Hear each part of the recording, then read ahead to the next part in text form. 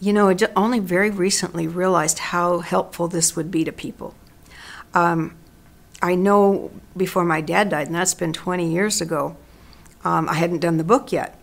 But he had such a fascinating, fascinating life growing up in, in pre World War One and then World War One Germany, and then coming to the United States when he was 18, right when the Depression hit. he Just had so many interesting things, and he told me bits and pieces through the years. But I thought this is going to get lost, you know, when Dad is gone, and so I got him to sit down. He wouldn't write it, but he, he I got him to talk into a tape recorder. So I have it all on tape and a friend of mine who's much more techie than I am put it all on, um, on just a, a, a, link. They gave me a website link that I can click on anytime I want to to go hear my dad telling his story. Now, he had a younger brother who remained in Germany when my dad came here in 29. So when the World War II broke out, my dad was uh, an American citizen and he joined the American Army, whereas my uncle, my dad's brother Werner, he was in Germany, and whether he wanted to or not, they were conscripted into the Nazi army. And my uncle came over after the war, and he always used to because he. The interesting thing is he went AWOL. He he hated being with the Nazis, but it was not easy to get away. But he did escape, and he hid out. And my dad went across enemy lines, and he brought an extra American uniform, officer uniform. They would have both been killed if they'd have been caught by either side, but they, they were able to get through. And I'm thinking, what a story! We've got to get this story down um, my uncle, who outlived my dad, finally said, You know, I'm going to do it. And I said, Do you want any help? Because he knew what I did. And he said, No, I'm going to give it my best shot, and then you can look at it afterward.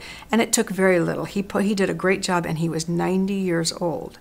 And he wrote the book called Brothers at War. And it has each of their pictures in their respective uniforms on the front. And that just always stayed with me how important it was what a lasting legacy to leave to your family. Even if nobody else ever reads it your family needs that. Um, my my children my grandchildren they were so excited to get copies of that and say that's my my grandfather that's my great uncle and the history that's in there that gets preserved that way. So before my mom passed, I had her do it in writing. She did that, and we I kind of gave her a simplified version of the train of thought method.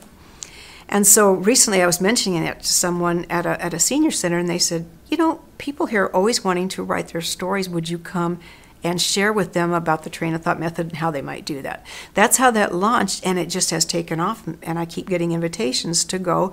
And so we talk through the book, and um, they take a copy of it. And, and many of them, I hear from all the time. I'm working on it, and I've told them all that when they're done, I will look at it for them. Um, now, it depends because I can adapt it to. I've done as short as a 30 minute presentation, which is nothing, but then I've also done as much as a two day. Usually, five or six hours is the best, and I actually have them work through it, actually develop at least the heart of, of the whole story.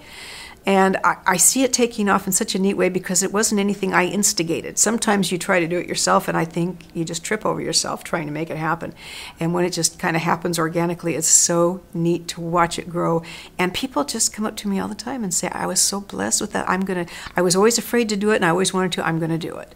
And so that's how that started. And I am really focusing a lot on doing that now.